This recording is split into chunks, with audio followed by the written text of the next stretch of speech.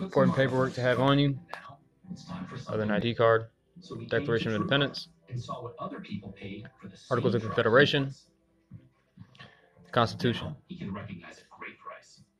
TrueCar was. Here's some templates out, we got right on back to the life he that make it very easy. Before you And I have an affidavit of complaint that literally is not exactly a citizen's arrest, but legislative type stuff to help prevent, discern, and decipher between somebody's trying to shaft you or whatever else, and even what we're after.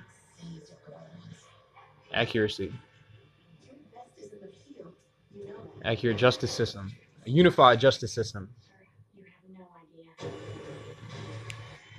being born fair and equal.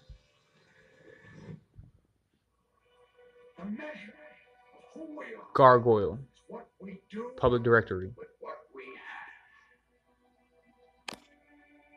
Also, birth certificate, social security card, and very important, other rules of taxonomy.